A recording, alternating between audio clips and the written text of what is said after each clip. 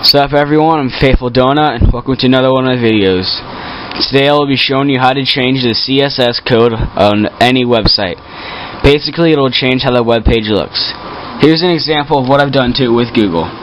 First start by opening Mozilla Firefox, then go to https colon backslash backslash backslash backslash addons dot mozilla dot org backslash en dash us backslash firefox backslash add-on backslash 2108 I'll post the link in the description for all you. Once on the web page click on, click on add to Firefox then download. After that we start Firefox. Now at the bottom of your browser there should be a little box that looks like this. Click on it. It'll then say manage styles. Find styles for this page Write Styles, and Global Styles. Click on Find Styles for this page. At that web page, it'll have a bunch of different styles to choose from. For example, I'll choose Alien Invasion styles.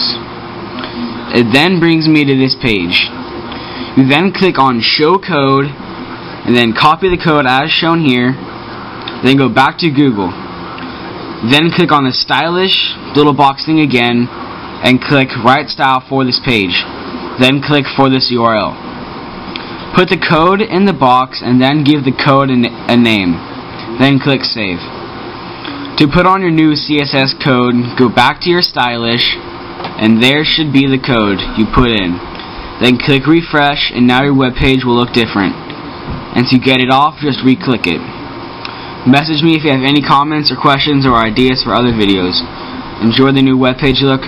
Fateful Donut.